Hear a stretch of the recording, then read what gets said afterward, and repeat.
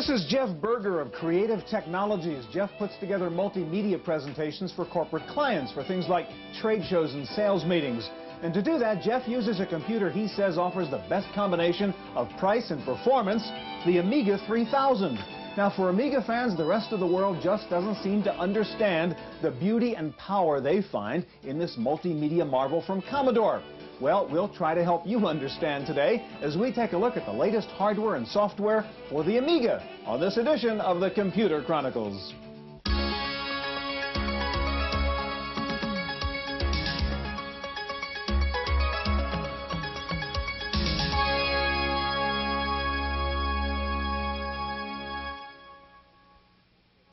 The Computer Chronicles is made possible in part by the Software Publishers Association, which reminds you it's a federal offense to copy software. The SPA provides information on how to stay software legal. Funding is also provided by PC Connection and Mac Connection and by Byte Magazine and Bix. Welcome to the Computer Chronicles. I'm Stuart Cheifet, and with me this week is Tim Bajarin, Executive Vice President with Creative Strategies. Thank you. Tim, what we're looking at here on this VCR is a video. In this video, if we look carefully, we'll see uh, use of a video switcher, obviously, right. a still store, a character generator, paint box, uh, frame buffer, digital video effects, and so on. Yet this was not done in a professional, professional studio facility. It was done on an Amiga personal computer using the video toaster mm -hmm. board. Uh, pretty impressive stuff. Yeah. Despite this, the Amiga is kind of a mystery to me. You know, if you go to Europe, or certainly if you go to Germany, the Amiga is a mainstream business computer. Here in the States, it's still a kind of narrow niche machine. What is the difference? Well, Commodore suffered from the image of being a entertainment computer from the early days, yeah. and then also from what we call the chicken and egg syndrome. In order for them to attract software developers, they needed to have many machines on the market.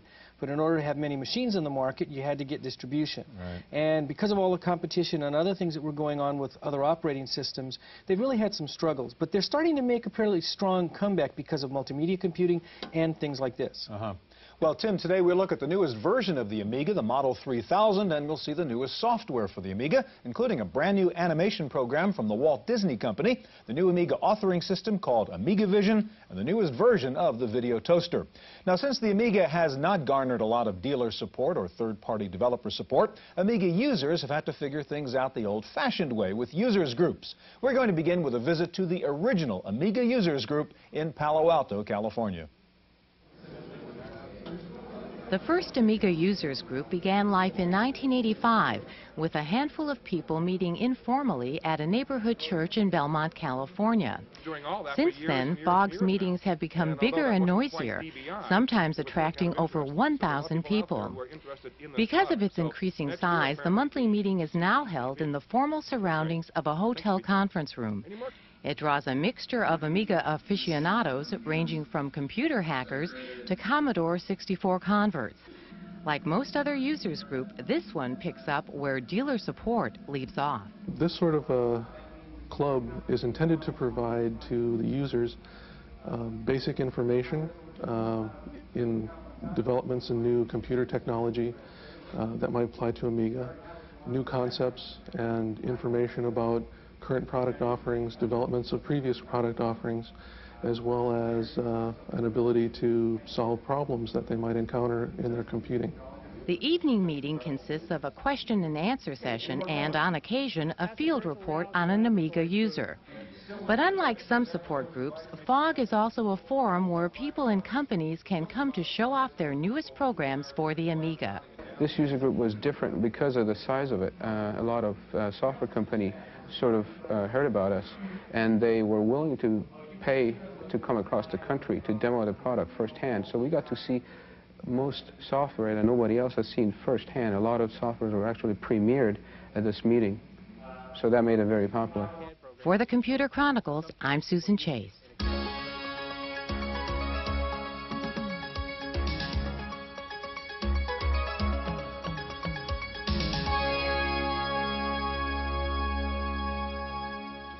The newest version of the Amiga is the Model 3000, and here to show it off is Hedley Davis, Amiga Product Development Manager with Commodore, and also with us, Sam Palinuk. Sam is a producer with the software division of the Disney Company. Tim?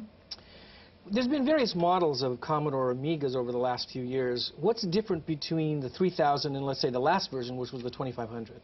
Well, the 2500 was a 68030 based machine.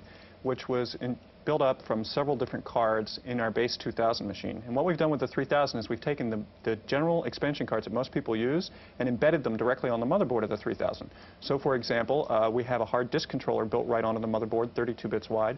We've got up to 16 megabytes of fast memory and 2 megabytes of chip memory directly on the motherboard.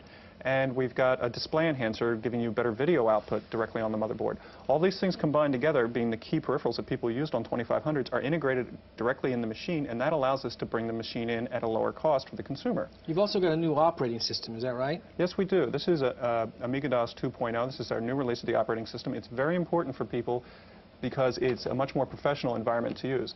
Uh, some of the features of Amiga DOS are, as in many different machines, is we have preferences so that you can adjust the display to your, your own personal taste. For example, you can change the colors to, to whatever you feel is appropriate. There's also abilities to modify fonts. On this particular machine, we're running it uh, in a VGA mode, and you can see that the fonts are very small here and they're difficult to read. So what I can do is I can pick much larger fonts and use those, and hence we have uh, fonts, mm -hmm. what we mm-hmm. call fonts for the blind, or it's much easier for the people at home to see. In addition to this, uh, we bundled the machine with a software package called Amiga DOS 2.0, uh, excuse me, Amiga Vision. Yeah. And Amiga Vision presents a method of gluing output from various sorts of programs together so that people can do presentations. And th this very small thing just demonstrates uh, three screens that are put together using a package called TV Text, and they're shown one at a time. And it's a very simple demonstration. Lou Wallace is going to be showing us something much more advanced later on in the program. All right, Sam, I want to turn to you, and we all know the Amiga uh, as an animation machine, mm -hmm. as a creative machine, multimedia, mm -hmm. and so mm-hmm. on. Uh, and while Hedley sort of reboots here so that you can get up. Uh, this is now, I understand, the first animation program out of the Disney people. Yes, who, of it course, is. the animation people. Yes. And, and what was the theory in, in bringing this out on the Amiga platform first? Um, we brought out an Amiga because the Amiga uh, has graphics capabilities that are very well suited to this particular type of display. All right, show it to us. Let's, let's see how this works. I'm very happy to. Boot up here. Here's the animation studio. And uh, what I'll do is I'll just create a very quick animation for our eyes here. Okay. This is in real time. No magic. Yeah, well, and you're not an artist, right? Uh, yes. anyone who knows what they're doing will know that this is not, not, an artist. This is not an artistic endeavor. But you can see that uh, the animation studio allows me to see back through the paper right. simulation of paper. So we're seeing several cells at once, basically. right, and it allows me to get very accurate control over what's happening, and I can see what's going on in the background, which allows me an incredible amount of control.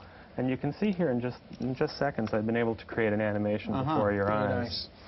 In addition to having a, an easy-to-use animation package, we also wanted to um, not just drop the user off there, we wanted to uh, help them out by providing a variety of animations that uh, they can actually learn from. Animated clip art, in essence. Yes. These are uh -huh, the fundamental lessons yeah. that uh, animators are actually uh, taught. And you can see that actually, I can see through yeah, this yeah. and study it. Um, we provide several of these that cover all of the basics uh, of animation. In addition, we've included uh, animations from the morgue, uh, films and shorts, and this is what a Disney animator was able to do with that very same notion, using quite a bit of exaggeration and uh, just basic Disney magic. Mm -hmm. Could we see something in color? Yeah, absolutely. Uh, the program also fully supports color, and what I'll do is I'll take one of the included animations and color it in for you very quickly.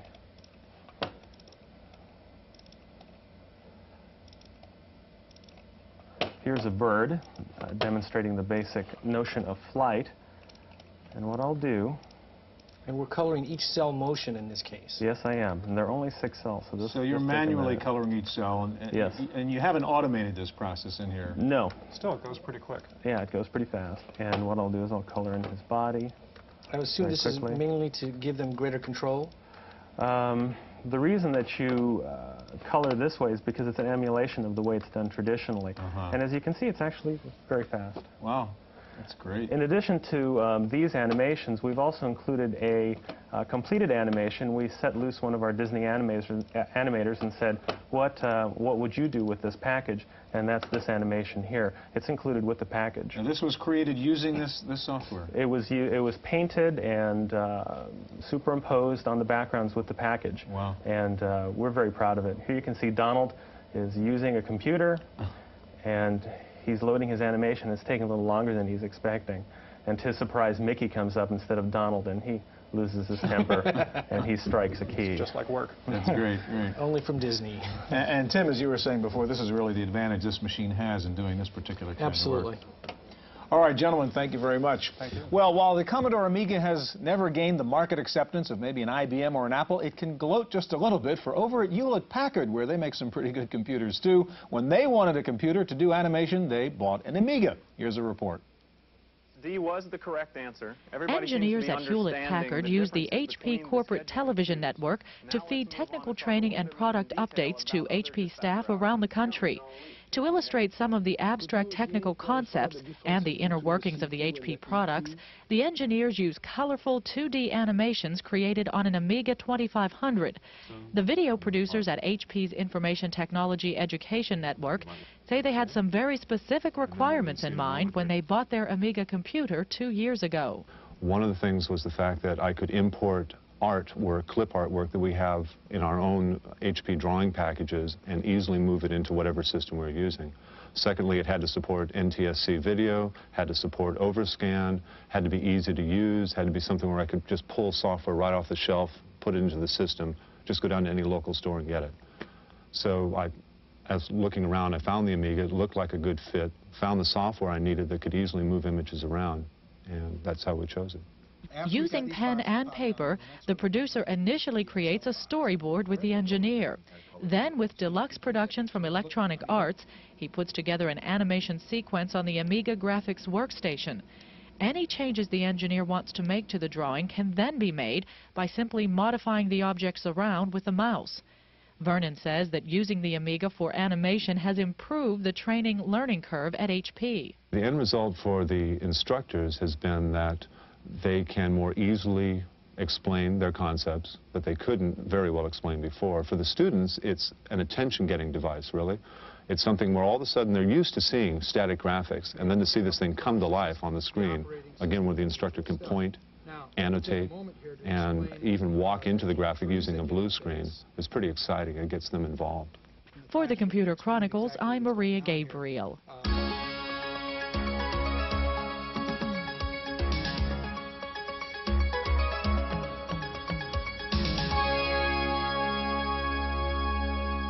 The Macintosh has HyperCard, the Windows PC toolbook, and the Amiga 3000 now comes bundled with AmigaVision. Here to show us the new Amiga authoring system is Lou Wallace, Senior Editor for Technology with Amiga World Magazine, and joining us again, Hedley Davis of Commodore. Tim? When I think of authoring systems, I usually think of really complicated programs, but I understand this is really easy to use and more iconic. Tell us a little bit more about how you view authoring systems. Well, uh, as far uh, AmigaVision, as far as an authoring system, is really an icon-based, object-oriented graphic programming language. Uh, it can be used for presentations or for full-featured programming uh, tasks. The, the, basic command structure is set here in this main menu where you have a variety of different things, control icons, interrupt programming, database, and it has a DBase 3 compatible database, uh, various user interactive commands, and probably the heart and soul is the audiovisual commands. These are uh, actually, these little pictures, icons, or commands just like you would have in BASIC or C. For example, if I wanted to create a, a screen command to load a right. screen, I just pick it up and drag it into place. If I wanted to add some user interactivity, I would just take the mouse icon and grab it and put it in place. Mm -hmm. uh, perhaps if I wanted to add uh, a little control structure here, I would add a go-to, which a lot of programmers don't like, and double click on here and tell it when it gets reaches this point to come back here and go to this icon and you can see now that it points back. Now I've actually just created a whole program while we were talking. I didn't really define what, it, what I wanted to do. So if I was to double click on the screen icon, I bring up a requester, which is where I put in all the parameters for the commands. Uh, clicking on the directory command the button here, I can load up a predefined screen, such as uh, one of my favorites, the Stooges. And here I've got a picture of the Three Stooges that's been digitized from an old movie. Now, if I, I could just present this and show the image, but to make it interactive by clicking on the mouse command, I can go into an object editor, which allows me to create interactive hotspots on the screen. And here I've loaded the, the image to preview, and I'm going to add some user interactive hotspots here. We'll start with curly, and I'm just going to outline very quickly. And I've created a hotspot here that I can then further define with right. sound so effects. if you punch on curly, something will happen. Something will happen. Yeah. I can have feedback sounds mm -hmm. or, or colors or whatever I need to do. And I guess, Hedley, the interesting thing here is the AV part of it, right? Where you're able to bring into this program all kinds of AV sources. Yeah, one of the important things about the machine is your ability to take video and overlay it on top of your computer output. So we can take computer graphics, video from video disk, audio samples, and combine them all together into a cohesive thing. Or even animation. And animation, computer-generated digital mm. animation. All right, Lou, you've got an example of that, I think, next. Yeah, I do. This is something I did uh, in about 30 minutes. I used a ray tracing animation package, and I generated a animated ray trace skeleton, Very a human nice. skeleton. Uh, I have text windows here for information, and I hotspots on the screen where I can just click on, on the something and something will happen. In this case, I zoomed in on the, mm -hmm. on the ray trace skeleton. So what about video? Okay, well, let's get out of this one. And I have previously loaded here what I call the Encyclopedia of Insects. And this is based upon a, a commercially available laser disc from Pioneer from the Encyclopedia of Animals series. And I, what I did was I created animation and screens to and a control program to interact with it. So you can see that he's got digital graphics up here, and at the right. same time he's going to be able to have okay. video coming from the video disc. Uh, the metaphor I used here was that of a, a book, an okay. encyclopedia.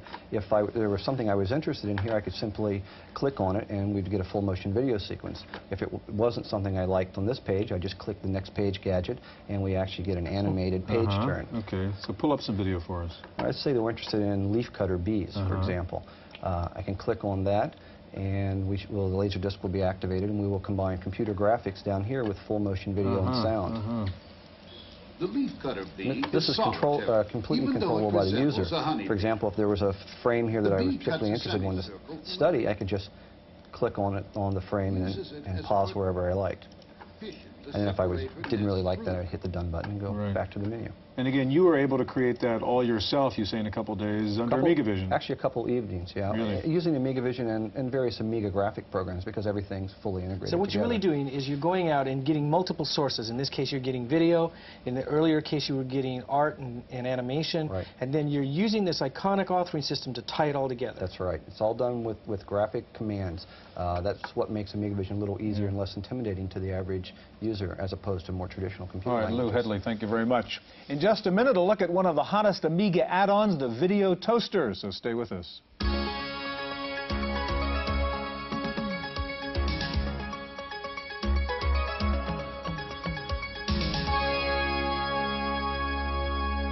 Well, we know the Amiga is good for music and animation, but it is also now the ultimate video machine, thanks in part to the Video Toaster. And here to show it off are Tim Jenison and Paul Montgomery of NewTek. Tim? Now, let me see if I get this straight in the past, to do a bunch of, video controls, I've had to have machines that were $500,000, $100,000. Now I'm going to be able to do this with this card for $1,500? Absolutely. Thanks for having us here. We showed the toaster recently at the National Association of Broadcasters show, and this is where the engineers go to buy their stuff. And they came by the booth and they said things like, this is unbelievable, this is revolutionary that you can do this in a box for this price. And this is what they were excited about. This is the video toaster card. And when you plug this into your Amiga 2000 or 2500 and put these discs on your hard drive, you have the equivalent of a television hmm. studio. All right, Tim, we want to take a look at some of the things you can do with the toaster. F first of all, tell us what the physical setup is here. What do you have? Okay, I've got my own cameras here on, on corners of your table. Okay, so we've got your two little cameras here. Right, and the toaster is installed in this Amiga 2000. And the cameras are sort of inputs into your toaster mm -hmm. control room, can, if you will. I can take up to four cameras or VCRs. Okay. Um, so first of all, the first thing you can do with four inputs is you can use the video switcher. So I've got one camera here on the screen. I can now do transitions from one camera to another, like this wipe. Here's some other wipes. Okay, Here's so a wipe with a border. And moves. the uh, basic dissolve, which any good $20,000 switcher can do, I guess. Mm -hmm. But where it gets interesting is the uh, digital video effects. Now, this is the part that you've never had in a home uh, studio before or low-end right. Uh, production. That's for sure. The digital video effects are the most expensive. They can sell for, for equipment up to 20 to 50,000 just mm -hmm. for mm-hmm. that. And uh, it's a lot of fun. Okay, here's an effect that I like a lot. If I could ask you to sort of uh, get out of this shot okay. for a second. Get out of your camera's way. Okay. That'll do. Okay, go ahead and sit back up again. Okay. And I'm going to beam you into your chair Star Trek style. Energizing. Oh, I like it. I like it. That's great. Okay, the next uh, major element of the toaster is the, uh, the paint box, uh, or the paint video paint system. And with that, you can, you can uh, create your own graphics. Mm -hmm. What makes this different than, say, uh, a computer paint program is the signals that come out of this are broadcast ready. You can put it right on the air. It has 16.8 million colors, and you can do a lot of uh, interesting things. Tim's mm -hmm. loading up a mm -hmm. picture here.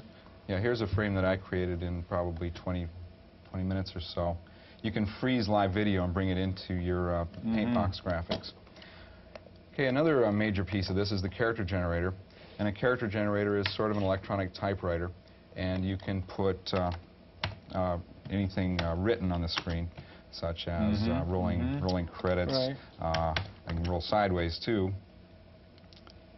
And what sets this apart from from sort of a, a, character generator you'd find in your camcorder is that we have uh, really much higher quality Again, 16 million colors and, and 35 uh -huh. nanosecond resolution, yeah, which is the yeah, same thing right. you'd see on a, on a network program. Mm -hmm. And here's a screen that takes advantage of those features.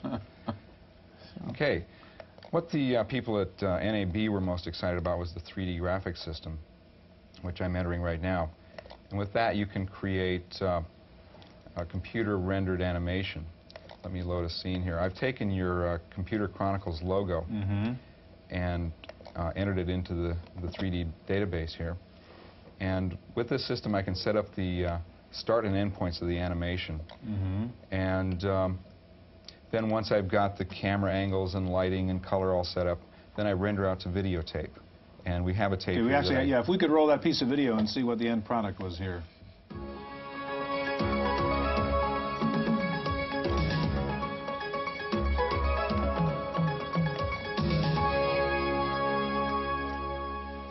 Can tell you that stuff usually costs about $1,500 a second, right. that kind of stuff. And I understand you did that in about a half an hour. Mm -hmm. To set up the thing. To render it, it took a few hours to do. Now, now, uh, Paul, it does seem like magic. I mean, Tim was mentioning before, how do you do this? I mean, you've got every expensive machine you'd have in a TV studio coming off that one board. I mean, what's, what's the trick? Part of the magic is the Amiga. The Amiga of all the computers in the market is the only one set up with video timing. So you can uh, easily add uh, the circuitry we needed to do it. In the toaster, we have four custom chips, and those custom chips give the horsepower to do everything. Plus, uh, we have a 350,000 lines of code, mostly assembly language, mm -hmm. running on the Amiga, and that's how it works. And, and, who do you see as the user now? Is this really designed for the broadcast professional? Is this going to be high-end home video? Where do you see it going? Well, video is everywhere. It's sort of the new literacy. Yeah. And uh, people are using it in homes, schools, businesses. Uh, but the problem is that it, video you make with your camcorder looks amateurish and uh, is boring, actually. Right. Uh, so the video toaster is designed for anybody that wants to bring a, a network quality look to their mm -hmm. videos. And it is available as a product? It's shipping to Amiga dealers now and uh, has been uh, for a while. And the price is? Uh, $15.95. Okay, thanks very much, Tim and Paul. That's our look at the new Amiga. Stay tuned now for this week's computer news.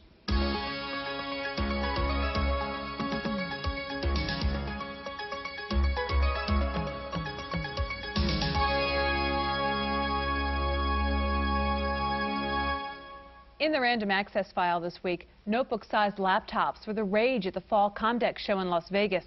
Texas Instruments was the latest to join the competition for the hot laptop market with its new TravelMate 3000. It features a 20 megahertz 386 SX chip with a VGA display and built-in floppy and hard disk drives. It's priced at just under $6,000. Everex Systems rolled out its first ever portable, the Tempo LX, weighing in at just under 7 pounds. This sleek 386 SX machine has space for an internal modem, and memory can be expanded from its standard 1 megabyte up to 5 megs. AST Computers unveiled two 386 SX notebook-sized laptops. Both feature 20 megahertz 386 SX chips. The lower-end machine comes with a 20 megabyte hard drive and will retail for about $3,000. For another $500, you can get a 40 megabyte hard drive. Both AST models offer the unique ability to replace batteries in the suspend mode without disrupting your work. Canada's Ogivar also introduced its version of the laptop PC called the Internote. But unlike its American counterparts, this 286 import features a full-size PC board with standard key spacing. The Internote carries a price tag of just under $3,000. Company spokesmen say a 386 version of the laptop is in the works. A new add-in from Silicon Graphics will give PCs the power to manipulate 3D color images on the screen. Called Iris Vision, the product is a pair of circuit boards that plug into either AT-style or microchannel slots. Some of the superior graphic capabilities include a 24-bit Z buffer for hidden surface removal and double buffering for real-time animation. Iris Vision requires a 386 or 486 CPU. If you're a business executive, you can now brighten up your drab flip charts presentations by using the new Storyboard Live from IBM. The software allows DOS users to design graphics and charts and then animate the images on the computer. You can even add video and music to further jazz up your presentations. Next up, Paul Schindler and this week's software review. I just love doing this. But you know, it gets a little old and a little messy after a while. Well, there are lots of computerized calendar programs, but the best one we found for the Macintosh is Alarming Events. Now, when you bring up alarming events, you can determine how much of the year you want to see, and you can change that anytime you want. It tells you your next appointment at the top. The days when you have appointments are dark. There's a week at a glance available as well as a day at a glance. You can have a pop-up alarm as a flashing alarm across the top of the screen. You can time events for billing. You can keep to-do items which follow you forever. You can set recurring intervals and fix the day of the week or the number of days from the end of the month. No more pesky scheduling of weekday reminders. You can set alarming events to provide you advance notice before an appointment. You can indicate a duration to prevent scheduling conflicts. You can print it out a day, a week, or a month at a time, and you have a wide range of notification preferences, including sounds. Mm-hmm. Alarming Events is $130 from CE Software Incorporated of West Des Moines, Iowa. For the Computer Chronicles, I'm Paul Schindler. Apple is setting up a new toll-free customer support line to answer questions about its sales policies and programs. The number will offer customers a referral service, not technical support. The toll-free number is 800-776-2333. It's available weekdays, 6 a.m. to 5 p.m. Pacific Time. Taking a look at this week's top software titles for the Macintosh, Mac Connection reports that After Dark from Berkeley Systems is still in the number one slot. SAM is in second, followed by Adobe Type Manager and Quicken for the Mac. In fifth place this week is Disk Doubler from Salient. Rounding out the top 10 titles are Fullwrite, Microsoft Word, Microsoft Excel, Mac Utilities, and Pyro. And finally, one European computer company is putting its two cents in to protect the environment by packaging its diskettes in popcorn. Officials from Corbland International say they're switching to popcorn from polystyrene foam because popcorn is biodegradable. That's it for this week's Computer Chronicles. I'm Kate McGargy. The Computer Chronicles is made possible in part by the Software Publishers Association, which reminds you it's a federal offense to copy software. The SPA provides information on how to stay software legal. Funding is also provided by PC Connection and Mac Connection and by Byte Magazine and Bix. For a transcript of this week's Computer Chronicles, send $4 to PTV Publications, Post Office Box 701, Kent, Ohio 44240. Please indicate program date.